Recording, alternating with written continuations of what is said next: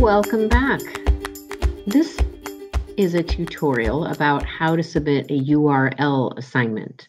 So just like always, you are going to come over here and look for recent announcements.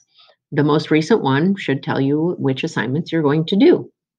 You're going to go over here and click on modules.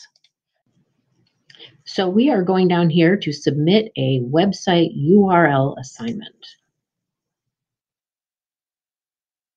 The instructions are here.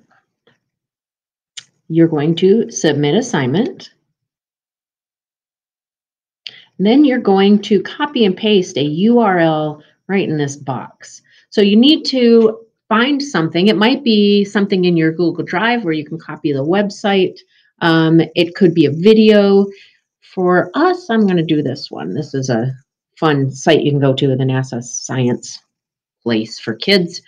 And so if I want to share this entire page here with you, I would go up here and highlight and then copy. So there's a couple different ways to do that. You can come over here and drag it and highlight the whole thing. But if you didn't know this, you can actually just click on it once and it'll highlight it for you. Then two ways you can do this. You can right click or two finger click on your mouse pad and click copy or once you've highlighted it, you can do Control C, and that will copy it. Then when you come back over here, in this box right here, you're going to paste it. So either right click or two finger click to paste like that, or Control V. You submit the assignment.